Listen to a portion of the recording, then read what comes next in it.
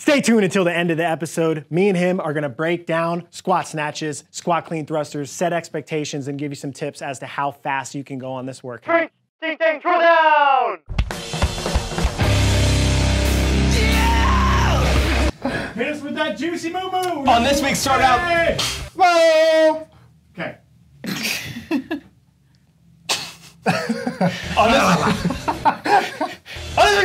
have Crispy Christian demo the workout. crispy.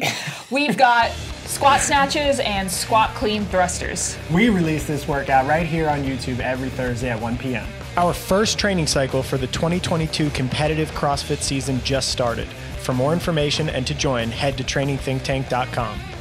Mia, what's the workout? This week's throwdown is a five minute AMRAP of three squat snatches and three squat clean thrusters at 155 for the guys, 105 for the girls. Go ahead and get on the leaderboard by looking in the description down below. There's a register link there. Also, you'll find a movement, or you will find movement standards and a warm up for this workout. This week's demo athlete is Christian. He has surpassed the intermediate division and he is now an RX athlete. He's developing his skills. He's actually got a bet with me that if he makes the game games in three years, I have to grow my hair out. If he doesn't, he's got to shave his head. I mean, can you grow your hair out though? It'd be sloppy. Let's go see this workout. Three, two, one, zero. Five minutes of barbell cycling. Yeah, this reminds me of the old school open workout with what was that? Squat clean and jerk? Except Yeah. squat snatches. Yeah. Oh yeah, that Just- was when I was still competing. yeah, that was a long time ago. Yeah. That's a tough workout though. Looks super snappy and fast. This catches up to you quick, so I think having a cadence in mind. I mean, some people are just going to want to bank time at the beginning, but it's five minutes of doing either a squat snatch or a squat clean. Yeah, if you think about this like a one mile run for time, you're not going to sprint your first 400. So it's not necessarily that you have to move any slower than him because he might be on a good pace for himself right now. He just finished those first six reps in 30 seconds. I don't know what he'll finish overall, but I'm guessing he won't be able to sustain that pace. That'd be the equivalent of sprinting your first 400 in a mile. So just kind of think about always the duration of the workout and how you can manage your energy appropriately for that period of time. Yeah, you also have to think about the maybe the fatigue points that you may have. So for me, I would be thinking more about my shoulders because you're going from snatch, which is holding it overhead, to the squat clean thruster. My legs are usually pretty enduring, but maybe for you, it's uh just too many squats. So it's kind of thinking back, about how do I need to that's what manage that. Go. This workout? Yeah, just the setting up for every rep, Yeah. um, that would definitely start blowing up. So that second six reps took 42 seconds. There's some little technical things too. I, Christian's a tall guy. You can't always tell on camera, but he's probably another three inches taller than me. He's probably Yeah. like six one or six two. So he, the depth of his squat is kind of close. And that's just like these are these little things that you need to work on at this level to make sure that when you get into qualifiers, you're pushing the depth as much as you can to make sure that the reps are good. Whereas somebody who might be smaller with short legs and no tension might be able to just drop in. So it's kind of like an individual prescription you define for yourself. Yeah, when you have long femurs like him, it is not easy, Yeah, yeah. but it is something to practice, like foot width, maybe widening out or narrowing depending on how your hips move. So those are all things you have to practice. And definitely in qualifiers, using things like Versalifts to your advantage to Yes. just make that a little bit smoother. So for him, what started to break down was his press um, on the thrusters, and you'll see that as we go. Yeah, you could see that last one was a little bit slower. But again, I mean, you're holding the barbell overhead for the snatch, and then you're going right back into a press. I mean, it's a, it's very shoulder intensive. Yeah, it's just a lot of a lot of just like postural endurance too, because like you're keeping the bar overhead in both mo- movements essentially. Set three took 54 seconds, so he's dropping off about 10 seconds per set, and we're already at the halfway mark now. So 31 seconds for the first six, 42 seconds for the second six, and then 54 seconds for the third six. So maybe starting out on a 40 or 45 second uh, per six reps pace would have been better off for him, something like that. So, a question for you guys: Are there any other options other than doing singles? Like, would you ever tell someone to, hey, start with three touch and go snatches and then singles on the thrusters, or vice versa? I, uh, yeah, I I think the only think time I would tell people to use touch and go is right near the end of the clock Yeah. if you have the energy. I think it's just too much of a risk. It's so, that would make it so grippy. Yeah. Yeah. One of the things that I would tell someone that is, wants to be competitive in this workout, which I know that Christian's doing a really good job, but not stepping away like he is. He's taking three steps back every single time and coming back into it. And look, you may have to do that to take your rest breaks.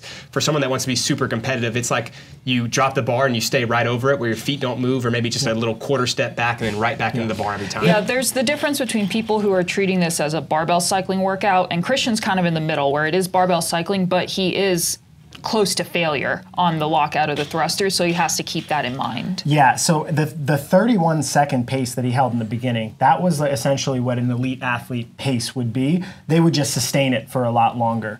The difference I think would be if he were holding that initial pace, but instead of stepping back and coming, he just took an extra second or second or so between his lifts early on. One thing too, mobility wise, you notice um, and this is something I think a lot of people have to do. I have to let go of my hands to come into a really good front rack, and that makes it really hard to make this transition. Mm-hmm. He has that same type of thing, and you kind of have to roll your wrist under as you're pressing to kind of get more stable in the press.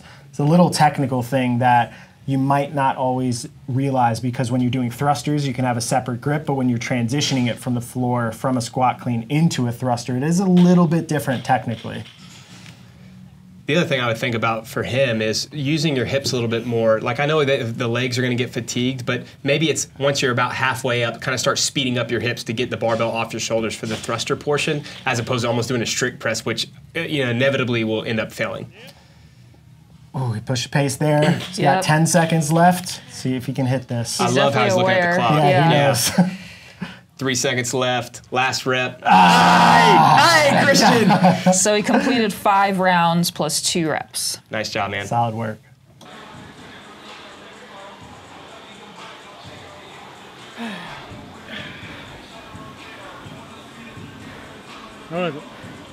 Oh, the worst fucking from my life. It's like so short, but at the same time, Jesus.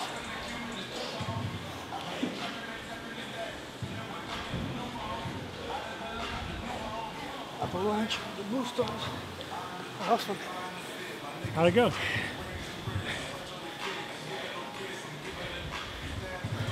It gets heavy, like pretty fast.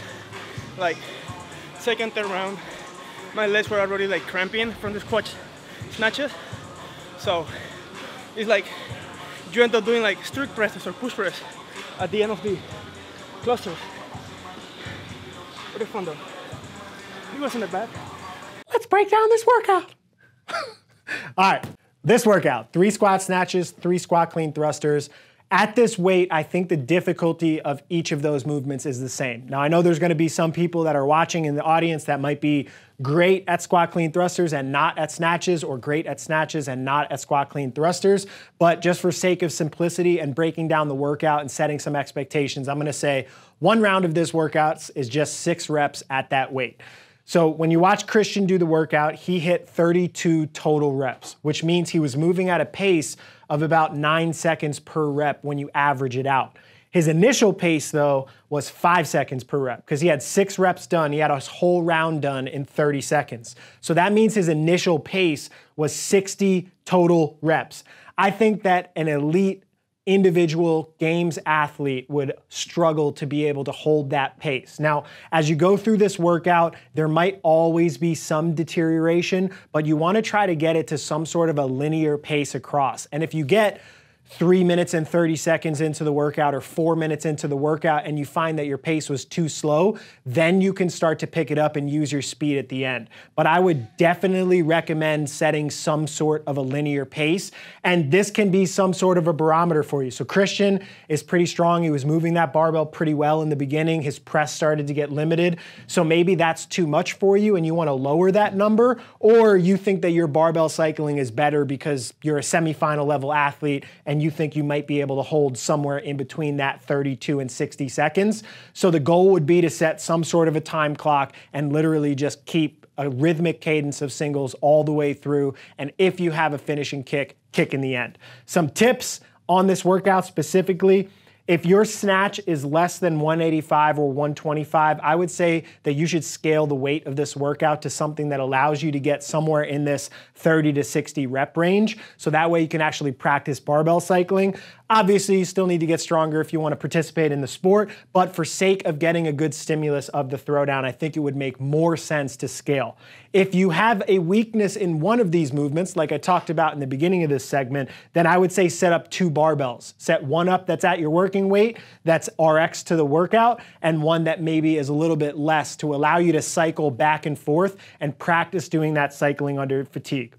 Some other focus points, your setups. We talked about that a little bit with Christian and figuring out how do you get set up on the bar really quickly and the same at every single rep.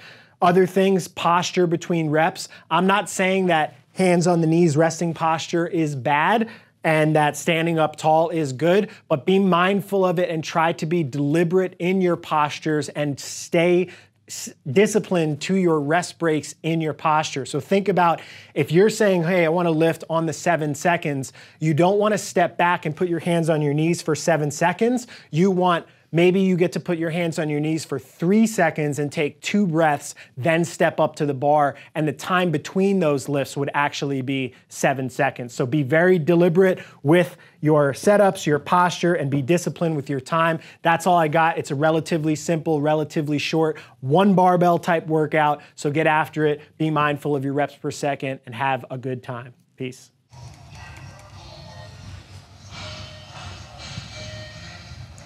Oh, um, Hold on, redo that. Was that all the way turned up? Yep. It was? Yep. A little quiet today.